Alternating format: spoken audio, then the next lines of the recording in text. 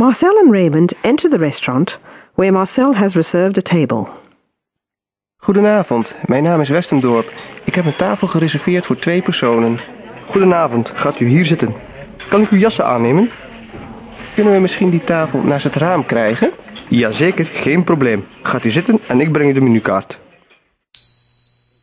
Goedenavond, mijn naam is Westendorp. Ik heb een tafel gereserveerd voor twee personen. Goedenavond, gaat u hier zitten. Kan ik uw jassen aannemen? Kunnen we misschien die tafel naast het raam krijgen? Jazeker, geen probleem. Gaat u zitten en ik breng u de menukaart.